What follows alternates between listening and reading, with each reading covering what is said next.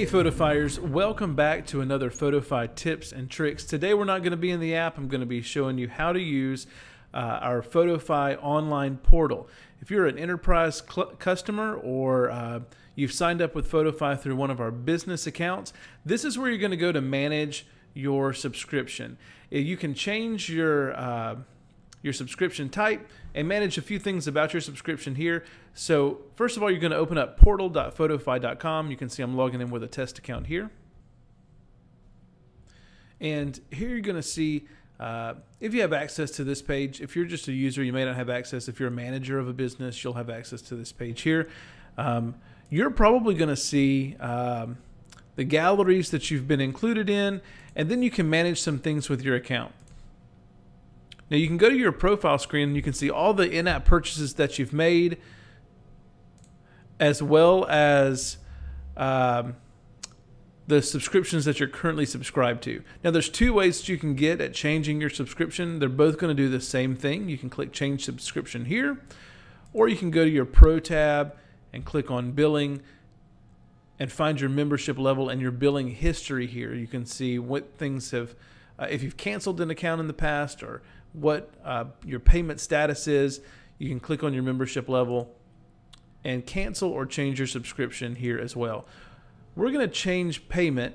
Now, this you can use to change your payment type. If you have a new debit card, uh, a new credit card that you want to use, you can come here and change that out as often as you need to. This is going to apply for your next monthly, quarterly, or annual payment, however you have that set up.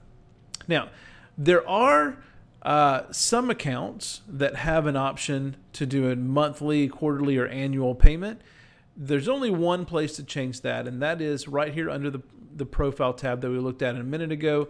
You can change your subscription, and here you can, you can click this drop down, then you can choose between your payment options.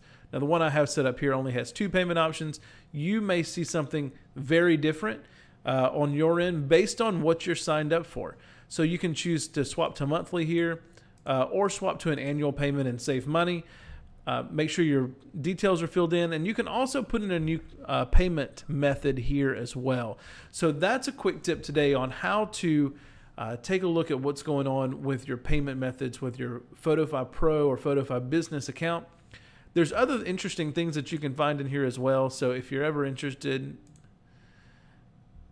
in uh, looking at things that you have made with your account, you can see all those things here.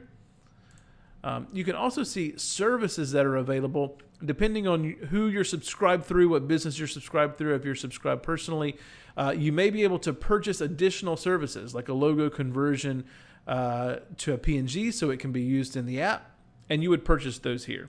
So that is uh, a quick glance at the customer portal for Photofy Pro. If you're interested in Photofy Pro or you're using Photofy for your business, feel free to reach out to us and discuss whether or not this is a great option for you.